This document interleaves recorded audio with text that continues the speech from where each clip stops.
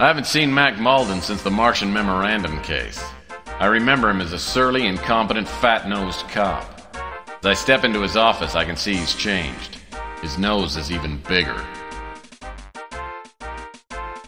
Well, if it isn't Tex Murphy. I figured you'd be dead by now. No, not yet. Actually, I'm working on a case. Sure you are. Probably a case of cheap scotch.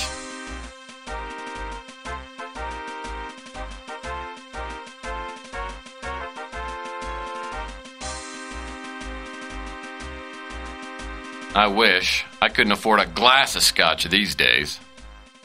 Well, I hear our custodial department is hiring. Pick up an application on your way out.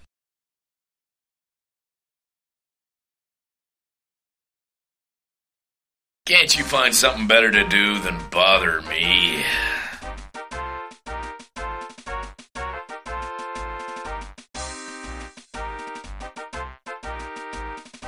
I don't mean to bother you, but I'm still stuck on this Kate. Tell you what, help me solve this case I'm working on, and I'll buy you scotch. And not the cheap stuff. Bribing a cop, eh, Murphy? Get out of here now, and I might not bust you! Oh, come on. Remember the Martian Memorandum case? Hey, we made a swell team. Yeah, those were the days. I don't get cases like that anymore. Things are harder now. The mayor's office is all over me again. You heard about the string of pawn shop robberies? We have no suspects, and I'm catching the heat for it. So you and your crack team of detectives have no leads? Of course we have you pots. We know he's a norm, Caucasian, and has AB negative blood. That narrows down our list of suspects to about a million. Now get out of my hair. I got work to do.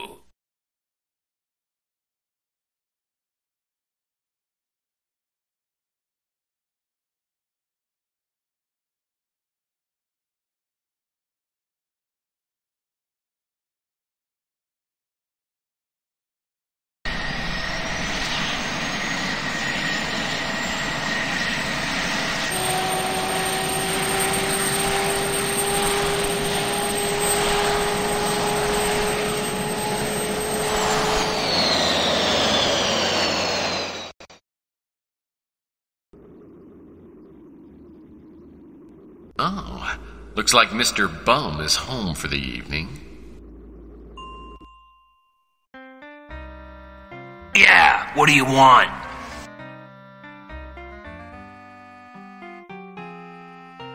Looks like you're busy drowning your troubles, my good man. Well, Mr. High and Mighty, what are you, a preacher or something?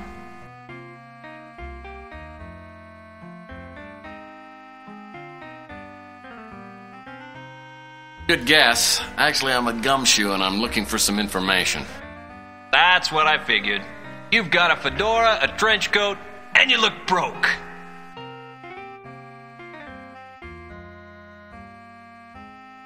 Oh, it hurts so bad to be insulted by a bum like you. If you don't like it, then leave.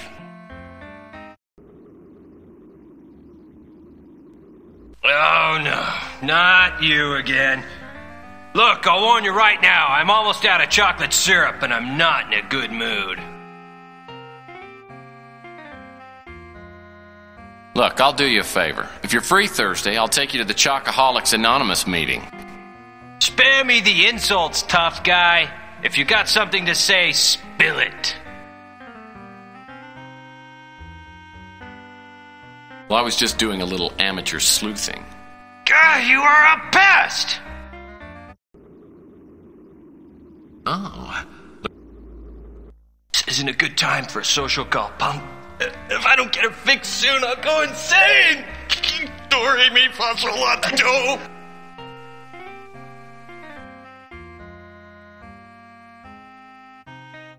I don't make a practice of helping out addicts, but I think I've got something that will ease the pain. Don't hold out on me, man. If you've got something, Let's have it.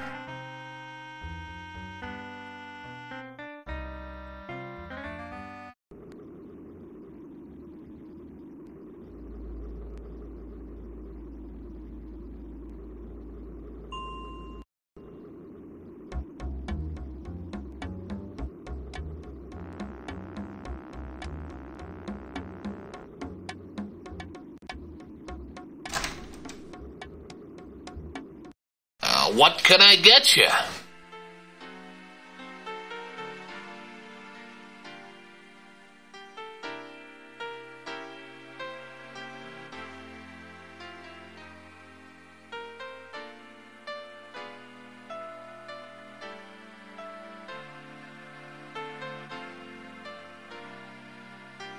You want to try a slice of my chocolate pie? I can get you a piece to go if you like.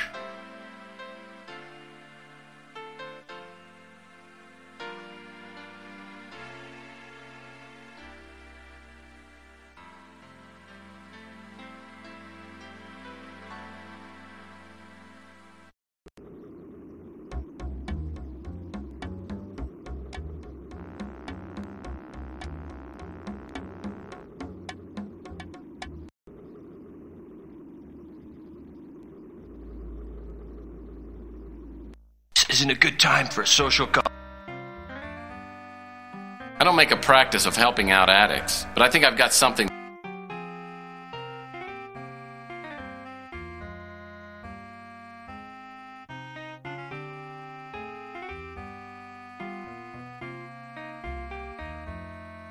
Praise heaven! You've brought the ambrosia of life. Ask me anything you want.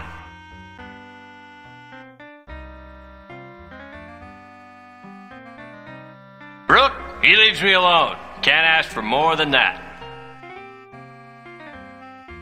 I think Chelsee used to fancy me till she found out my only true love was chocolate. Damn near broke her heart. Nice guy, good cook. Every National Feed a Bum Day, he brings me one of his award winning chocolate pies. Ugh. I don't have much to do with her. They don't serve anything with chocolate in it at the pizza joint.